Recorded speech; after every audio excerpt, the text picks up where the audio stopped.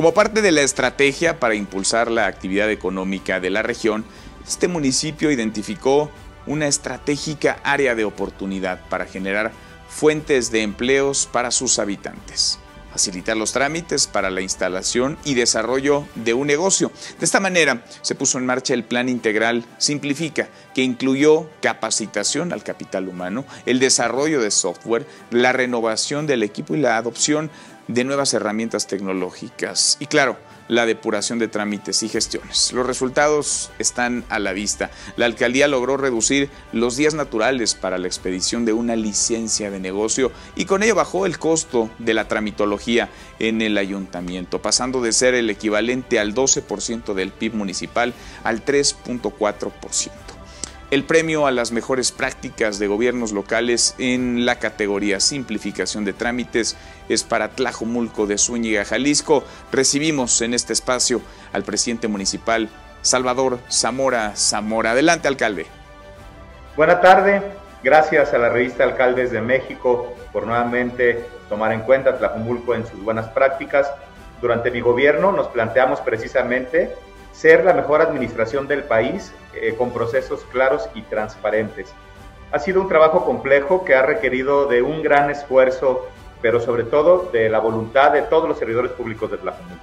Nuestro trabajo se ha enfocado precisamente en el desarrollo de tecnologías como parte fundamental de la simplificación de los trámites y servicios en conjunto con los reglamentos que norman el funcionamiento de todas las dependencias de nuestro municipio.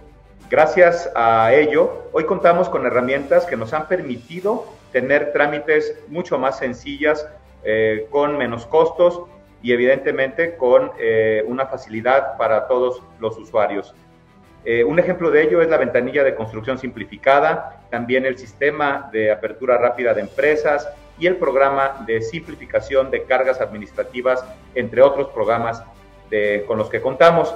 Y recientemente recibimos precisamente el certificado del programa de reforma a sectores prioritarios ProReforma, que regula las antenas de telecomunicaciones.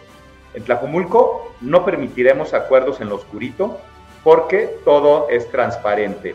Vamos a seguir trabajando muy fuerte para lograr la cultura de la simplificación y dejar atrás viejas prácticas burócratas que me parece que le hacen mucho daño a la administración pública.